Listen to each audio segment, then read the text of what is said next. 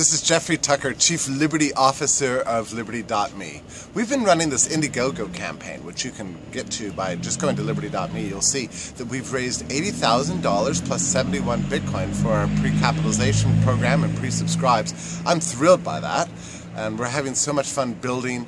Uh, releases not far away. We only have one week left in our campaign. We'd love to get to our goal. If you could help us, that would be wonderful. We for the best deal you'll ever get on pre-subscribes and membership.